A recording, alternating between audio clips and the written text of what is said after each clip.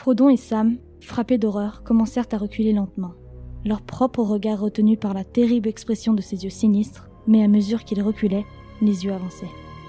La main de Frodon défaillit, et lentement la fiole s'abaissa. Puis, soudain, libérés du sortilège qui les retenait, afin de courir un moment en vaine panique au grand amusement des yeux, ils se retournèrent tous deux et s'enfuirent ensemble, terrifiés de voir qu'aussitôt les yeux bondissaient derrière eux. La puanteur de la mort les enveloppait comme un nuage. Arrête Arrête cria-t-il désespérément.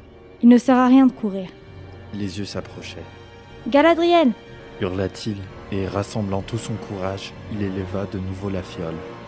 Les yeux s'arrêtèrent, leur regard se relâcha un moment, comme s'ils s'étaient troublés par un soupçon de doute. Le cœur de Frodon s'enflamma alors, et sans réfléchir à ce qu'il fallait, que ce fût folie, désespoir ou courage, il prit la fiole dans sa main gauche et de la droite, il tira son épée.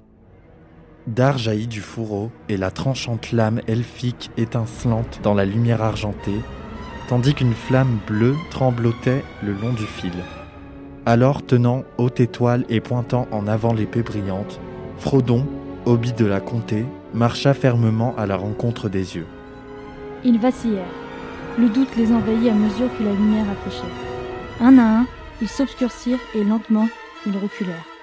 Aucun éclat aussi mortel ne les avait jamais affligés. Sous terre, ils étaient restés à l'abri du soleil, de la lune et des étoiles.